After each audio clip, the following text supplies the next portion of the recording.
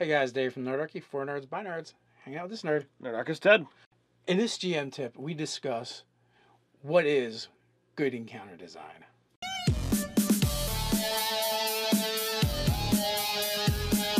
Jump down the description below where you can sign up for Nerdarchy the newsletter, get weekly gaming tips, as well as learn how to game with us. So we have another GM 911, which guys, uh, you can find the original GM 911 in the description below.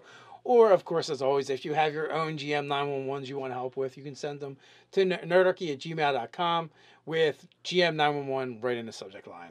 All right, so we got this one from Austin, and he goes into you know his history of 3.5 and fourth edition. But the crux of the matter is he, he's trying to design encounters that are interesting and challenging, and he says, "Where's the happy medium of making combat challenging?" Yet not so easy that they just brush it through. Does he worry about an XP budget? Does he add traps or you know difficult terrain? What is he? What do you, what do we do here?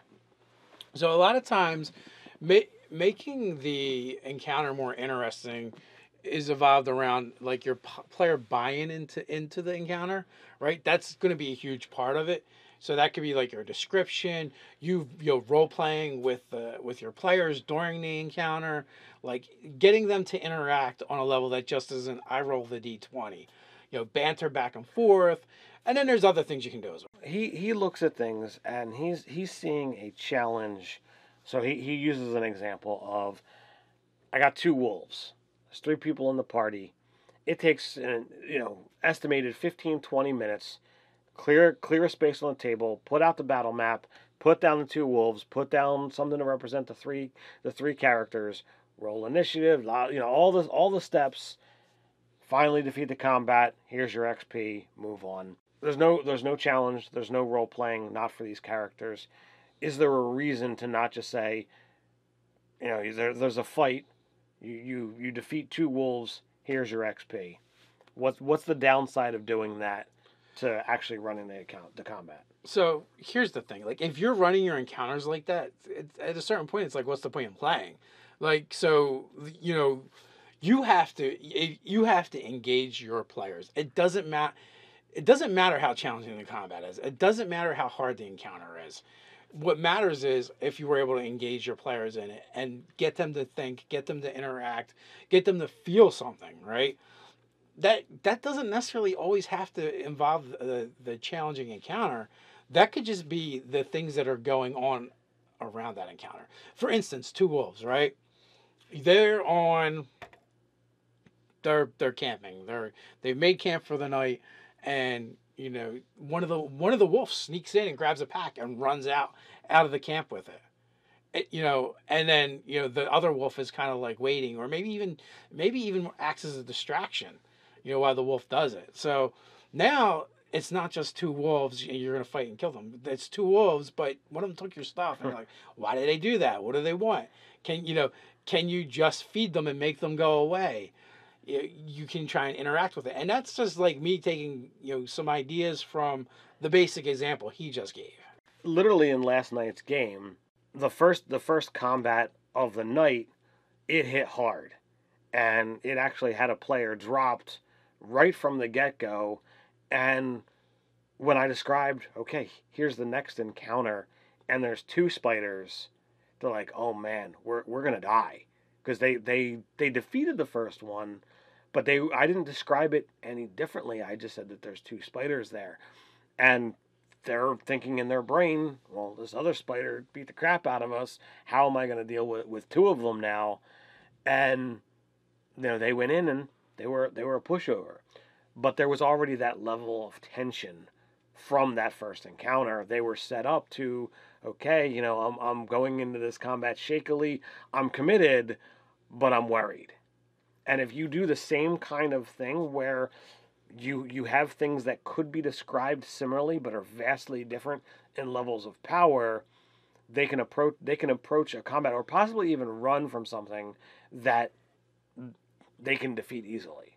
You never know how players are going to interact with stuff, and sometimes it's your, it can be just your descriptions. Uh, you, you just never know. Like you know, I did an encounter with ogres and goblins, and the ogres kind of like charged the party, and the party made mincemeat of them.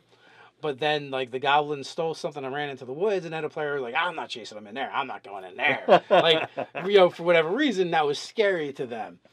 But you know, it's like setting the scene and creating things. Even going back to the wolf, the wolf encounter. Like, you know, you guys, you're the players come across a a clearing, and there's two wolves over a carcass.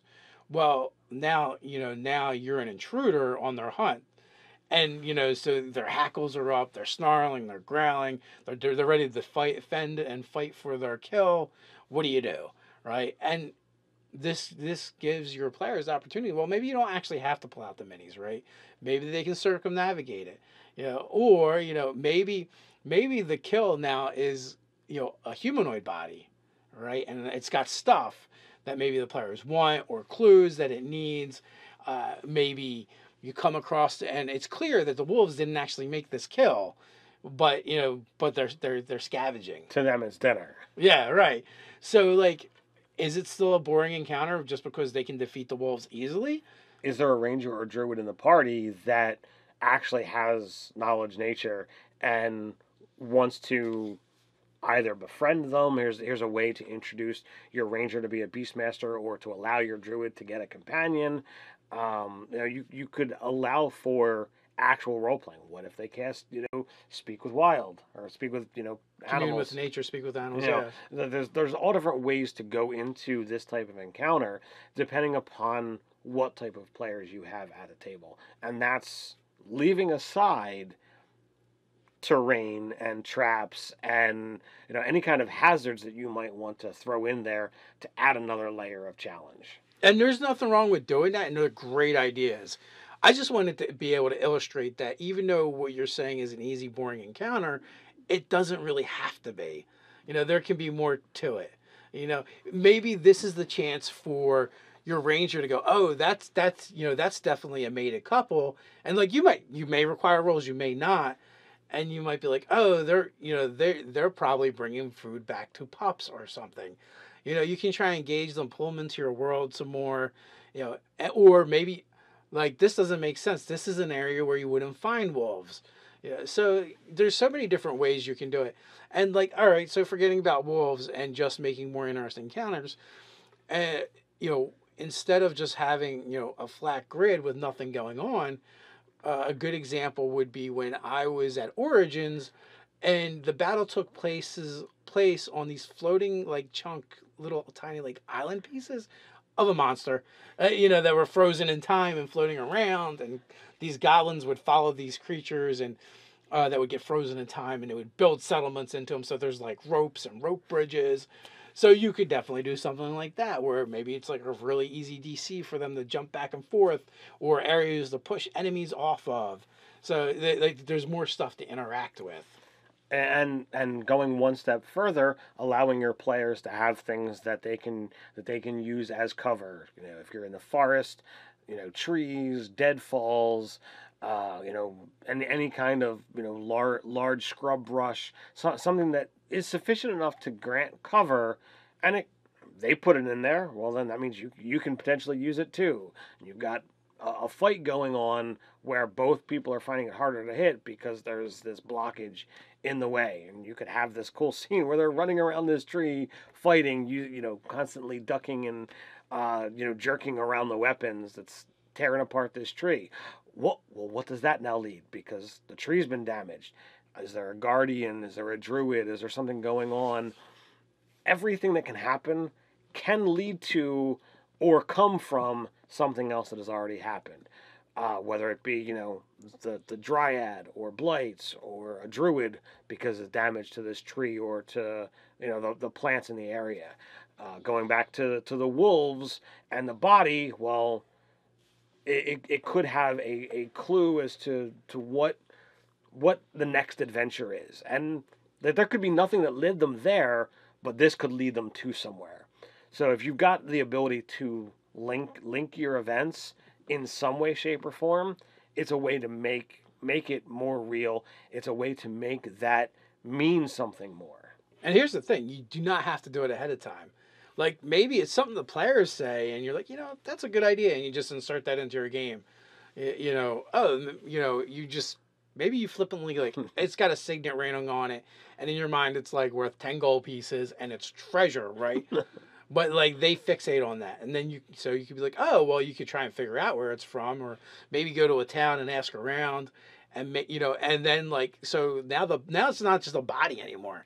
It starts to take on a life of It- its own. It it becomes a person. it's now someone. It's and it, and depending upon what you want to do with it, it's somebody important or it's not important. You know, and and you could you could send them on. Oh well, apparently the signet ring was uh you know custom th- custom made and it's valuable, but it doesn't link link anywhere. Or does it? You know, like Right. you know, again, how how much do you want to, to go down this rabbit hole? Right, or it was stolen from Sir John three three days ago, Uh, and he's like really happy to get it back. Hope he's willing to pay double, you know, and he becomes a new quest giver or something. You know, Mhm. you could do anything with it. Even like really basic, simple monsters like goblins, right, in the forest, right. You can't get any more basic than that. Goblins, as a bonus action, can disengage or hide. Well, goblin archers in a forest could be a nightmare. They have a plus six star stealth check. For even a mid level party, they might actually have the ability to, you know, to fire and disappear and keep moving around. And, you know, they, there could be other ones up in the trees with ambushes. And sure, these are easy monsters, but it, it doesn't have to be an easy encounter, especially if, you know, the, if it's an ambush. I mean, if if you want to really make that that challenging, let's let's say okay, we've got a, a, a mid level party. Well, if we have six uh, six goblins attacking, goblins are a quarter, right? Mhm. So that's that that's four per per challenge. So let's just say there's twelve of them, but only six are attacking every round. That that that makes for a challenging encounter, and belies how many things are actually out there. And if they're seeing like these these faces popping up and a different number attacking every round, the players will be confused and short of fireballing the forest, these these guys are going to be pretty difficult to take down. Right, and you can like you can take you know easy monsters and make them more challenging by like you said messing with the terrain, creating hazards, using traps.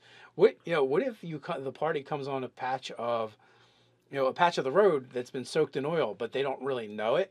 You know, maybe it's like it, maybe the soil's a little discar- discolored, so There's it's a weird smell in the air. yeah, you know, like so it's like a high DC for them to actually check, and you know, you, they, they say they do, and you just give them one of like, oh, you smell you smell something in the air, it's faint, you know, and the combat starts by one of the goblins, you know, shooting a flame arrow at the ground, you know, igniting it, you know, or or maybe it's you know maybe it's a ring of alchemist fire.